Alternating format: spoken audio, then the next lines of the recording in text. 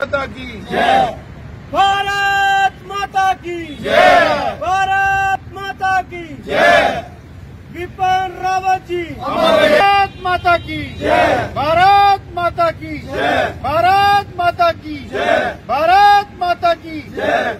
General Vipin Rawat ji. अमर रहे। General साहब। अमर रहे। जनरल विपिन रावत जी। अमर रहे। जनरल रावत जी। अमर रहे। भारत माता की। जय। जनरल रावत। जनरल रावत। अमर रहे। भारत के शहीद। अमर रहे। भारत के शहीद। भारत के शहीद। Chief of defence staff general Bipin Rawat जो एक हेलीकॉप्टर हादसे में शहीद हुए और उनके साथ हमारे बहुत से सेना के सीनियर अधिकारी जैसे ब्रिगेडियर लिदर और एयरफोर्स के बहुत से अफसर थे उनका स्टाफ था। वो वेलिंगटन में उस दिन ढाई बजे उनको अ, स्टाफ कॉलेज के अपने ऑफिसर्स को एड्रेस करना था। और मैं दो तीन बातें कहना चाहूँगा। मैं पर्सनली जनरल रावत को जानता था। जब वो डिविजनल कमांडर बारामूला में थे और मैं इस सरकार में मंत्री था तो मुझे उनसे मिलने का मौका मिला। और जब वो आर्मी चीफ बने तब भी मैं उनको मिला करता था।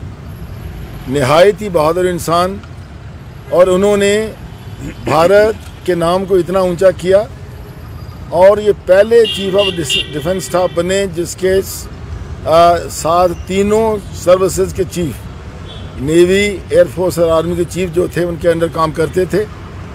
दो तीन बातें कहें, उनके बारे में बहुत मशहूर हैं। उन्होंने चाइना के खिलाफ जो स्टैंड लिया और भारत सरकार की जो डिफेंस की नीति थी, उस नीति को स्ट्रीमलाइन करने के लिए जनरल रावत ने अपना एक बड़ा ज़बरदस्त किरदार निभाया। इसके साथ साथ म्यांमार में जो सर्जिकल स्ट्राइक हुई, जो वहाँ उग्रवादियों के खिलाफ इन्होंने सर्जिकल स्ट्राइक करी, उसमें भी जनरल रावत की प्लानिंग थी। और तीसरा जो पाकिस्तान के अगेंस्ट जो सर्जिकल स्ट्राइक हुई, उसमें भी जनरल रावत की अपनी भूमिका थी। तीसरी बात उनके बारे में ये मैं कहना चाहता हूँ कि उन्होंने Indian army, Indian air force और इंडियन नेवी की मॉडर्नाइजेशन करने में आपने देखा होगा कि कितने सफिस्टिकेटेड एयरक्राफ्ट कितने सफिस्टिकेटेड वेपन कितने सफिस्टिकेटेड राइफल्स मशीन गन वगैरह। ये जो हथियार जैसे रशिया के साथ हमारा अभी अभी हमारा माहा हुआ, ये सारी जनरल रावत की प्लानिंग थी। और मैं समझता हूँ कि भारत ने एक बड़ा वीर योद्धा खोया है।